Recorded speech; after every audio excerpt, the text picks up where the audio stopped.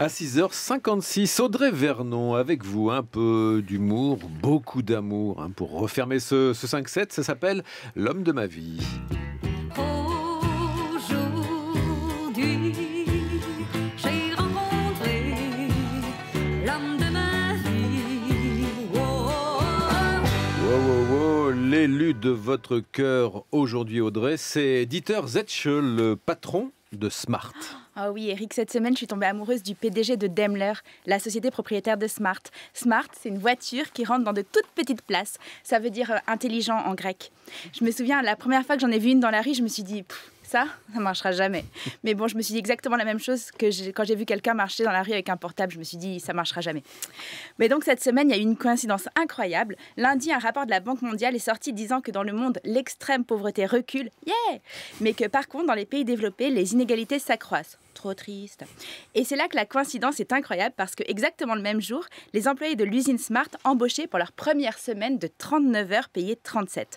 Bon, c'est un truc qu'ils n'avaient pas spécialement envie de faire à la base, mais c'est une idée de leur PDG qui, lui, est aux 39 heures payé 5000. J'ai calculé. L'an dernier, il a augmenté son bénéfice net de 23%. Mais comme il voulait très fort être augmenté de 16%, il s'est dit Bon, puisque j'arrive à faire rentrer une voiture dans une petite place en la compressant, je vais faire rentrer beaucoup d'heures de travail dans un petit salaire en le compressant. Je vais faire faire deux heures de bénévolat par semaine à mes ouvriers et les faire bosser le samedi. Parce que sinon, le samedi, ils les passent avec leur famille et ça, c'est pas productif. Les syndicats lui ont dit Non, non, mais oublie, les travailleurs, ils voudront jamais. Dieter a réfléchi, il a dit Bah, c'est ça, ou alors on ferme l'usine et on fait faire les voitures en Slovénie. Les syndicats ont dit Bah, c'est du chantage. Dieter a répondu Ouais. Je l'adore, Dieter, c'est un poète. Il cite du Victor Hugo. Au salon de l'auto, il y a quelques jours, il a dit On ne peut résister à l'invasion des idées.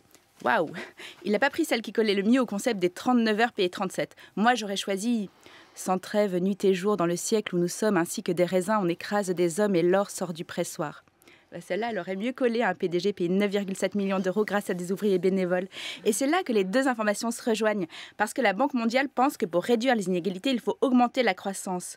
Ben non, ça va en faire travailler encore plus de pauvres. Pour réduire les inégalités, il suffit d'augmenter les salaires des 40% les plus pauvres et de réduire un peu l'augmentation des salaires des 1% les plus riches. Dieter, toi qui les connais, dis-leur à la Banque mondiale que pour réduire les inégalités, ben, il suffit juste de réduire les inégalités. Dieter m'a ré- m'a regardé et m'a répondu Hein? Quoi? Je crois que je suis amoureuse. Vous êtes sûr